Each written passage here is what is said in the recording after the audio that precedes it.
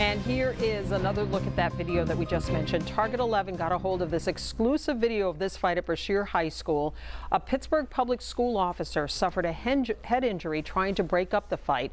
Good evening, everyone. Thanks for joining us. I'm Lisa Sylvester. And I'm Susan Koeppen, and David has the night off. Let's get right to Target 11's Rick Earle. And Rick, the video that you obtained is very violent. Yeah, Susan and Lisa, it is extremely violent and disturbing. A Pittsburgh school police officer who broke it up suffered some serious injuries, and tonight the district says several students will likely face criminal charges. Now that video shows a staff member at Brashear High School in between two female students as fists begin to fly. Another student then jumps in and a security guard then pulls one student away. A school police officer also moves in and attempts to break it up. She grabs a hold of one of the students and she's spun to the ground, repeatedly punched and kicked in the head as a couple more students join in this melee. They eventually managed to break up the fight and separate the students. Now the school police officer was taken to Concentra Urgent Care for treatment. I'm told she suffered head, facial, spine, and back injuries.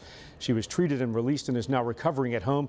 Just a short time ago, I spoke with the president of the teachers union. That union represents school police officers as well.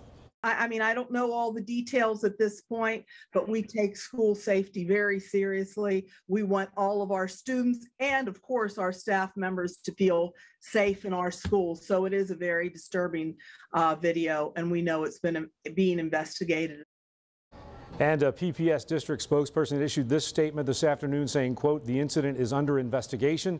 Students involved in the incident will receive discipline per the student code of conduct. Now, late this afternoon, the district told me that the officer was injured as she fell trying to protect a student who was being assaulted by three other students. The district says the students who started that fight will likely face criminal charges. That's the very latest reporting live this evening on the breaking news desk. Rick Earle, Channel 11 News. Right